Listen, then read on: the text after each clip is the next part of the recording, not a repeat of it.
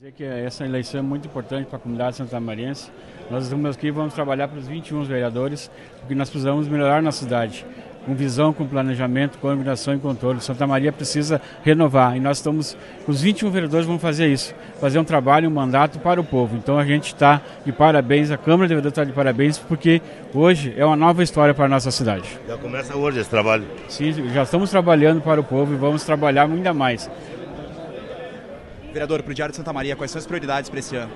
A prioridade é nós trabalhar é, muito na questão dos projetos para Santa Maria desenvolver, desenvolvimento na questão da mobilidade urbana, questão da habitação, que a nossa cidade está carente de habitação. A gente vai conversar com o prefeito, vamos conversar com os vereadores para nós ver essa questão da habitação. Hoje tem mais de 12 mil famílias que não têm uma habitação, não tem um projeto, não tem nada nessa questão. O meio ambiente, a questão da mobilidade urbana, a questão da educação, cultura. Então a gente vai trabalhar nesse sentido. Vamos trabalhar unidos para que Santa Maria cresça.